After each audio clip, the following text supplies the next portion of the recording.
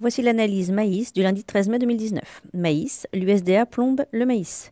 Le maïs a suivi la tendance baissière de son voisin le blé la semaine précédente, enregistrant une perte de 3,25 euros de la tonne.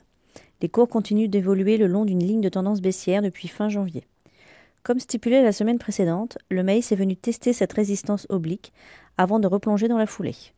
Le MACD continue d'évoluer en dessous de sa ligne de signal et en dessous de sa ligne de neutralité. Notre indicateur n'a plus fluctué au-dessus des zéros depuis le 31 janvier dernier.